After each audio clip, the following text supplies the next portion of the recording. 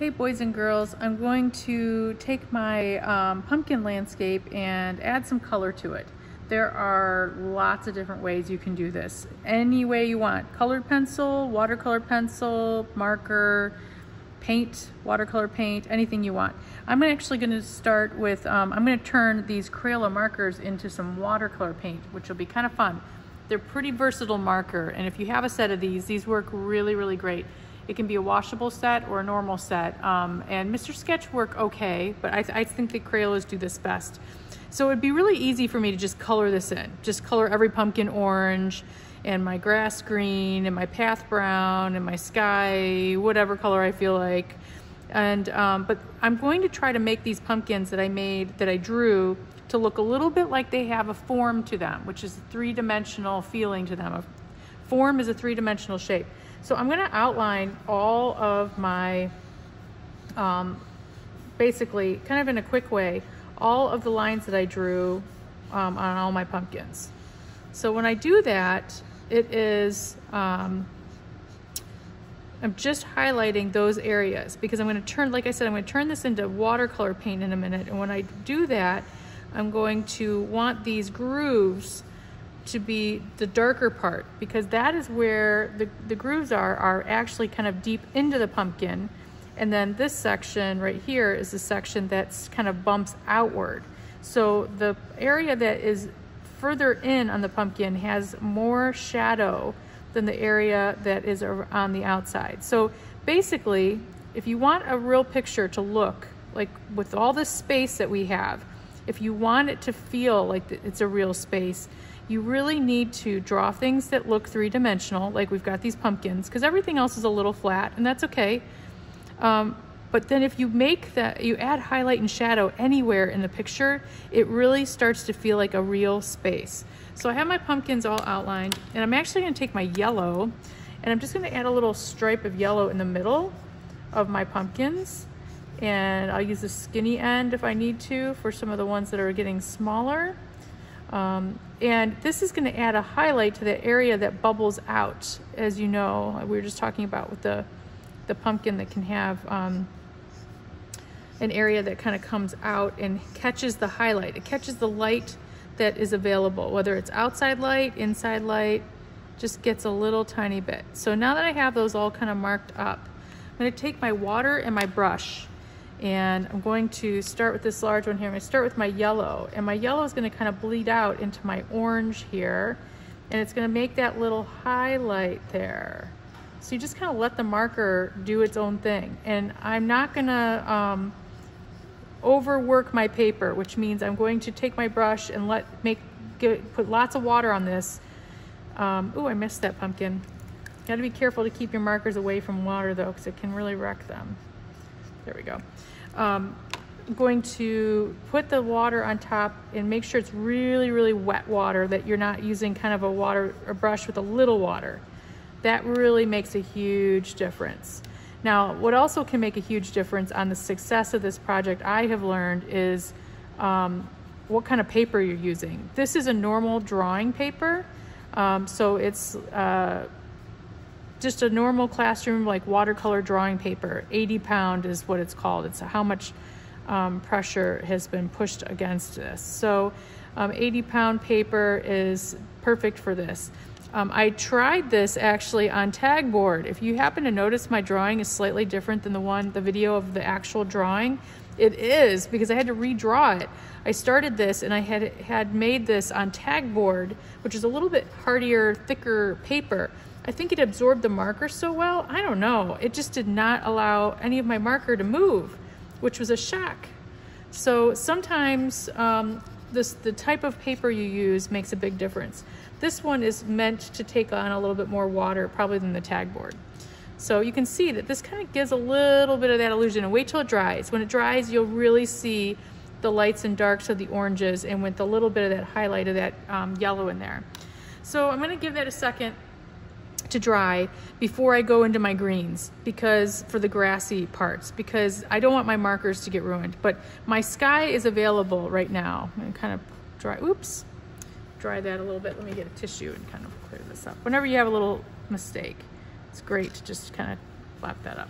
And that'll disappear later. So my sky can be anything. Um, I kind of think about like spooky fall picture, like maybe it's, you know, maybe this is the moon or maybe it's the sun kind of coming down. So I think I'm just gonna draw right on top of my trees because my trees are just gonna stay black. I'm just gonna kind of use the side of my marker and kind of do some like spirally kind of wind, almost a little Van Gogh-like kind of uh, go all different directions.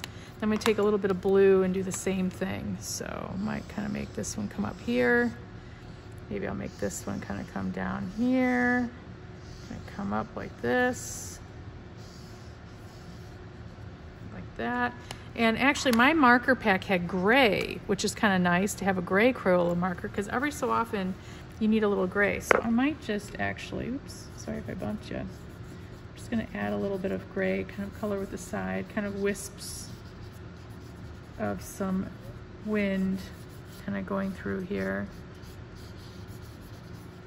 And then I'm gonna take my water again. I'm gonna go first on my uh, blue. And kind of, again, watery. Now, if I over rub my paper, especially um, if you're doing this on any kind of like uh, thinner paper than this, which would be like a copy paper, some um, different kinds of um, uh, paper you can get in packs can be a little bit thinner. It might, um, it might look a little rubbed quickly. So I'm trying not to let my brush rub the same spot too many times because if you do, if you go back and forth and back and forth, it'll start, the paper will start to pill almost like a shirt or a sweater that's been washed a million times. So you want to try to um, avoid that. So this is kind of showing up. I like this. I like how watery this is looking.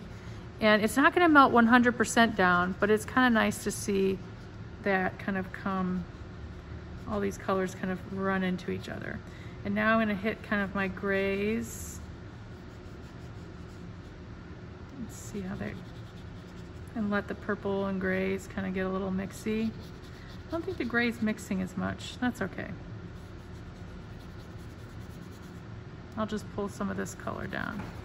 And if I wanted to add more color to this with marker, I would want to wait until this is all the way dry and do it again. I would not want to do, I kind of want to try the gray again, but uh, I'm not gonna do it right now because I know it'll ruin the gray. So I'm just gonna kind of get that, let that dry a little bit more. But the colors for sure bleed out really, really nicely. So my pumpkins are almost dry now. So now I can kind of go into my greens.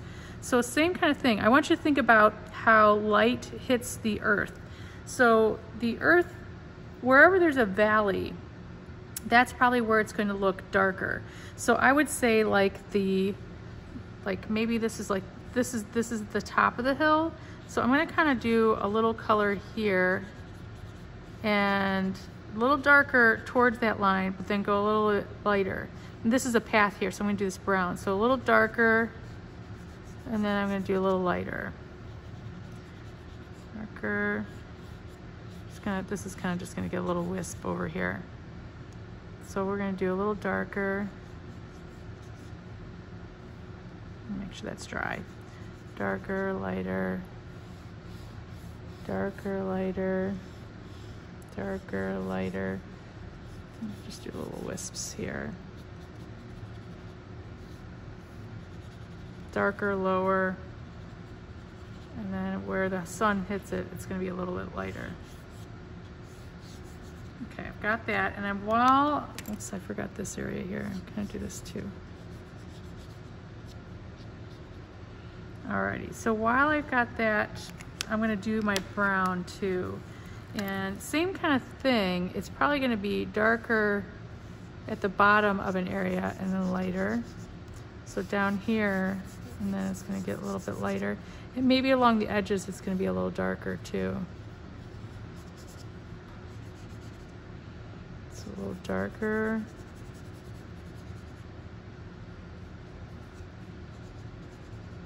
Okay, alrighty, so I'm gonna start with the green and start down here, get that green moving around.